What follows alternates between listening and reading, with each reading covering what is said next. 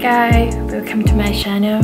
Today video is going to be my everyday makeup look. If you want to know how I got this look, keep on watching.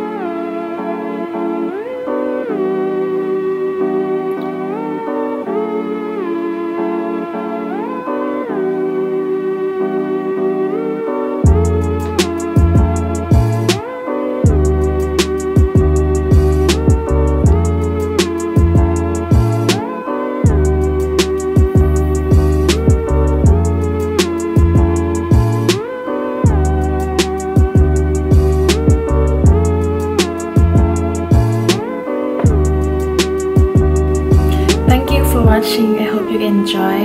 Don't forget to thumbs up